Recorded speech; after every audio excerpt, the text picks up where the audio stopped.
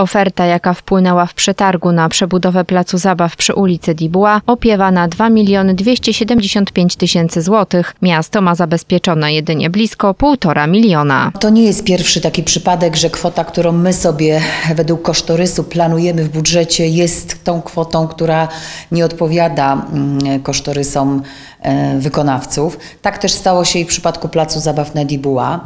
E, No, będę przekonywała radnych do tego, abyśmy zwiększyli kwotę dofinansowania, bo uważam, że ten plac zabaw, w ogóle to nie będzie tylko plac zabaw, to będzie teren rekreacji, zadedykowany i dzieciom, i młodzieży, i osobom starszym, e, w centrum miasta usytuowany, wymaga rewitalizacji i to szybkiej. Mimo, że kwota w przetargu przekracza tą, którą urząd przeznaczył na ten cel, to miasto nie chce unieważniać przetargu. Aby jednak zwiększyć kwotę dofinansowania tej inwestycji, potrzebne są zmiany w budżecie, które trzeba będzie uchwalić na wrześniowej sesji Rady Miasta. Będę przekonywała radnych do tego, aby przychylili się do mojej prośby, mm, e, abyśmy zwiększyli kwotę mm, przeznaczoną właśnie na realizację tego zadania. Niestety w tej chwili e, mamy do czynienia ze znaczącym wzrostem cen e, i czy to w przypadku placu zabaw, czy to w przypadku targowiska, wykonawcy proponują ceny znacząco przewyższające kwoty, które mieliśmy zaplanowane w budżecie. Tak się dzieje w całej Polsce, nie tylko w naszym samorządzie. Jeżeli radni zwiększą budżet dla tej inwestycji, to przebudowa placu zabaw przy Dibła rozpocznie się jeszcze w tym roku. Wiem, że radni